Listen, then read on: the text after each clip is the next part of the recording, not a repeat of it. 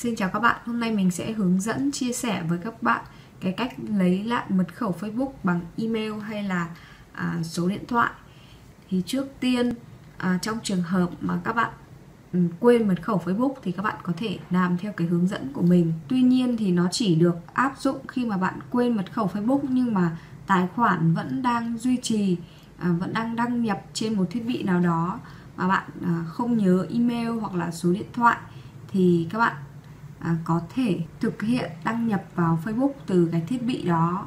Sau đó thì sẽ thao tác vào cái mũi tên xuống vào cài đặt chung và vào phần liên hệ. Ở cái phần liên hệ thì người ta sẽ có cái à, thêm email hoặc số di động khác thì các bạn sẽ thêm mail hoặc là cái số điện thoại di động mới vào đó và ấn vào lưu thay đổi. Sau đó thì các bạn sẽ đăng xuất tài khoản và à, nhấp vào cái liên kết mà mình dán trên màn hình. Các bạn nhập số điện thoại hoặc email mà bạn dùng để đăng ký cái tài khoản Facebook. Đối với tài khoản đã được đăng ký email thì mã xác nhận sẽ gửi qua email.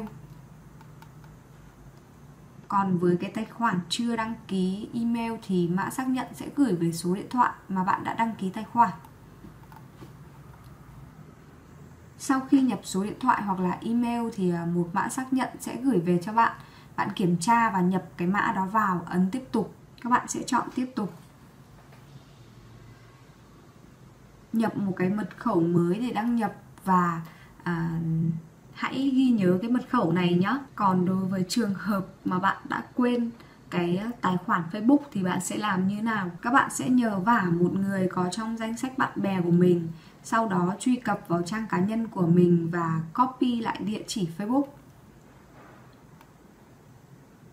Các bạn sẽ dùng cái ờ, địa chỉ Facebook đó thay thế cho email hoặc là tên đăng nhập cũ.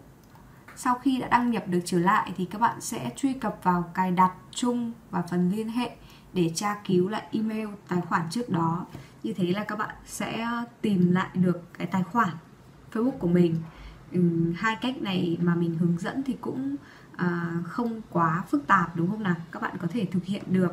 Thì hy vọng là các bạn sẽ à, lấy lại được cái um, Facebook cái mật khẩu Facebook à, cái tài khoản Facebook và à, ghi nhớ vào à, đừng quên nữa nhé à, video của mình xin dừng tại đây. Cảm ơn các bạn đã theo dõi video của mình. Xin chào các bạn.